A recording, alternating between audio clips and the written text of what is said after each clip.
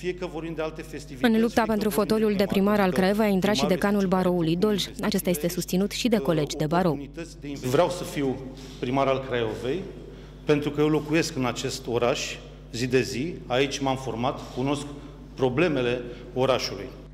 La Dolj și-au mai depus candidatura pentru funcția de primar al Craiovei Mihail Genoiu din partea PSD, care în prezent ocupă funcția de primar interimar, și Mario Ovidiu Oprea din partea PNL.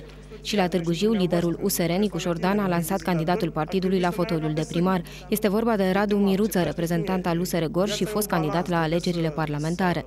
Trebuie să ieșim din uh, ciclul ăsta în care tot timpul votăm uh, răul cel mai mic și tot timpul se întâmplă același lucru.